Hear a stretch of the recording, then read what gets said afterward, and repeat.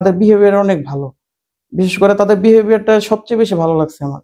তারপর তাদের সার্ভিস থেকে শুরু করে যাবতীয় জিনিস, সবকিছুই ভালো। আসসালামু আলাইকুম, আমি রাশেদ, আমার বাসা হচ্ছে টাঙ্গাইলে। আমি গত পরশু দিন আমার অপারেশন করিয়েছি কামাল স্যারের এই জায়গায়। তো শুরুতে অনেক চিন্তা ভাবনা করেছিলাম। তো আমার ওজন যখন নাইনটি ফাইভ ছিল, মনে করছিলাম হয়তো বডিতে অনেক ফ্যাট জমা ছিল। তো সেই কারণে সেই বডি ফ্যাট আমি অনেক কমাই জিমের মাধ্যমে। কিন্তু এক পর্যায়ে দেখি যে এই গ্ল্যান্ড আর শেষ হচ্ছে না। তো দেখা পরবর্তীতে সিদ্ধান্ত নিলাম যে অপারেশন করাবো। অনেকদিন চিন্তা ভাবনাই করছি, বাসায় অনেক বোঝাইছি। প্রায় এক বছরের মতো বাসায় বোঝানোর জন্য সময় লাগছে আমার, কারণ বাসায় একটা ছেলে তো এর কারণে সার্জারি বিষয়টা রাজি হইতে যাচ্ছিল না।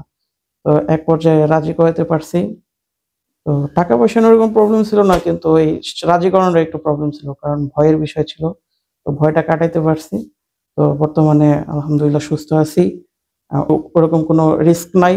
আমি তো অনেক ভয় পাইছিলাম শুরুতে, কিন্তু যদি, একটু ব্যথা পাবে শুরুতে যে একটা ইঞ্জেকশন দিবে, তারপরে বিন্দুমাত্র কোনো শব্দ মানে আপনি বুঝতে পারবেন যে অপারেশন হচ্ছে, কিন্তু কোনো ব্যথা পাবেন না।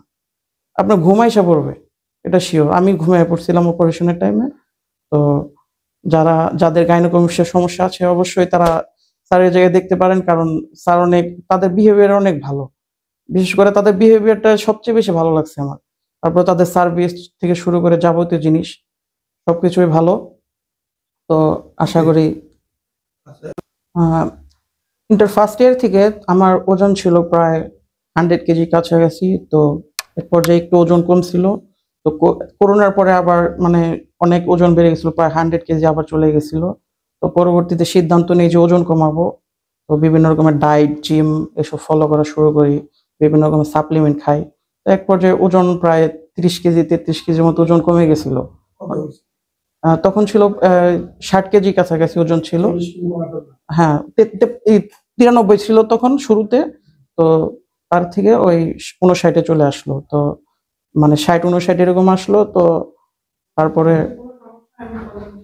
তো সেই থেকে আবার মানে জিমের ট্রেনের সাথে কথা বললাম যে এই জিনিসটা যাচ্ছে না। তো উনি বলল যে এটা চলে যাবে সাপ্লিমেন্ট খাইলে হয়তো বডি ফ্যাট কমে গেছে, এর কারণে বড় দেখা যাচ্ছে, তো সাপ্লিমেন্ট খাইলে হয়তো এটা সমান হয়ে যাবে। তো নিলাম সাপ্লিমেন্ট নিলাম, তো কোনো কাজ হচ্ছে না। হরমোন টেস্ট করলাম, তারপরে সেই অনুযায়ী ফলো করা শুরু করলাম যে হয়তো কমবে।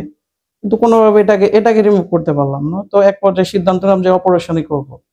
তো সেই অপারেশনে আসা।